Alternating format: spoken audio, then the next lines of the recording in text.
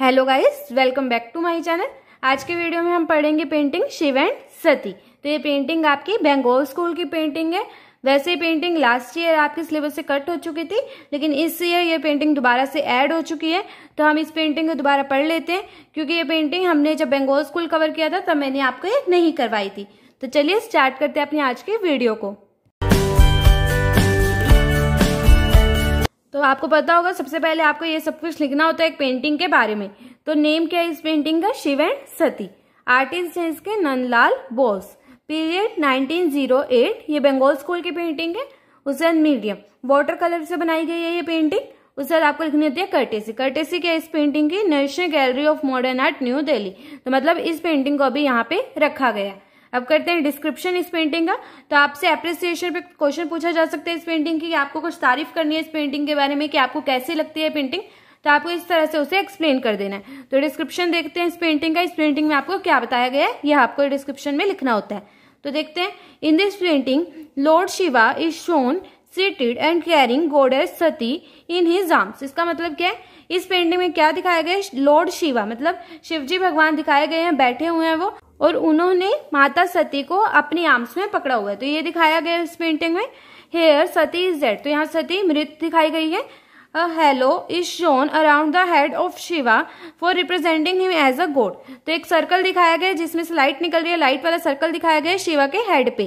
जिससे क्या पता चल रहा है कि उन्हें गोड की तरह रिप्रेजेंट किया गया है। एक्सप्रेशन आर वेरी गुड तो इस पेंटिंग में बहुत ज़्यादा अच्छे एक्सप्रेशन दिखाए गए हैं शिव और सती के।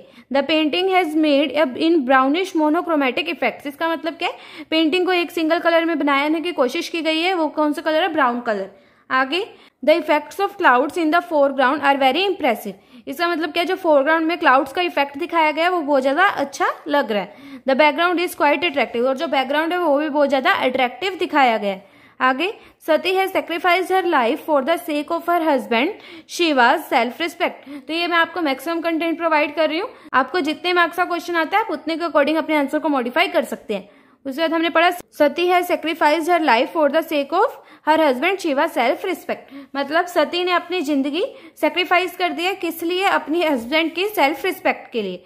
आगे देखते हैं, Sati's father Daksha who was against their marriage spoke abusive words for Shiva in a great party इसका मतलब क्या है? यजना। तो शिवा, जो सती है उनके हस्बैंड कौन है शिव और सती के फादर कौन है दक्षा। तो दक्षा जो थे, वो सती और शिव की। मैरिज के खिलाफ थे तो उन्होंने क्या किया था? मैं आपको एक सीन बताती हूँ। क्या हुआ था वहाँ पे?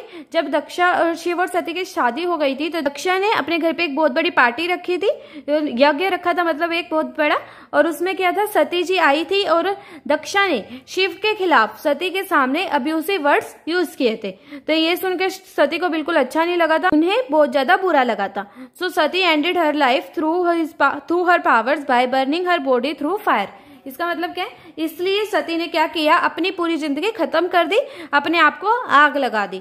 तो किस लिए किया था? क्योंकि उनके फादर ने उनके हस्बैंड की डिसरिस्पेक्ट की थी। आगे देख लेते हैं। So in this painting Shiva is carrying Sati in his arms तो इसलिए इस पेंटिंग में शिवा ने सती को अपनी बाजू में पकड़ा हुआ है।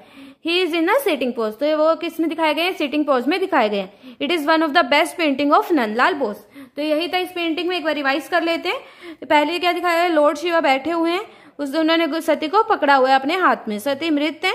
उनके बाद उन्होंने एक हेलो दिखाया गया शिव के सिर के ऊपर मतलब शिव के हेड पे दिखाया गया एक्सप्रेशंस बहुत ज़्यादा अच्छे दिखाए गए पेंटिंग ब्राउनिश मोनोटोन की दिखाई गई है। आपको पता है, जब भी आप एक पेंटिंग को एक्सप्लेन करते हैं, आपको उसके कलर्स के बारे में एक्सप्रेशन बैकग्राउंड फोरग्राउंड और उनके जो कपड़े होते हैं, आप उनके बारे में भी अच्छे से एक्सप्लेन कर सकते हैं तो उससे आपको फुल मार्क्स मिल जाते हैं। The effect of clouds in the background in the foreground are very impressive and the background is very attractive ठीक है? उसके बाद आपने लिखना कि सती ने अपनी लाइफ क्यों सेक्रीफाइस की? क्योंकि उनके फादर ने शिव को डिसरिस्पेक्ट किया था। और यही आपको इस पेंटिंग में लिखना था और लास्ट में आपको लिख देना कि ये पेंटिंग बहुत ज़्यादा सुंदर है। तो मैं होप करती हूँ आपके लिए वीडियो हेल्पफुल रही होगी। तो प्लीज़ इस वीडियो को एक लाइक कर दीजिए और मेरे चैनल को ज़रूर सब्सक्राइब करें और साथ में बेल आइकन को भी क्लिक करें ताकि मेरी आने वाली सभी वीडियो की नोटिफिकेशन आपको मिल जाए। और आप मुझे इंस्टाग्राम पे भी फॉलो कर सकते हैं लेटेस्ट अपडेट्स के लिए। Thank you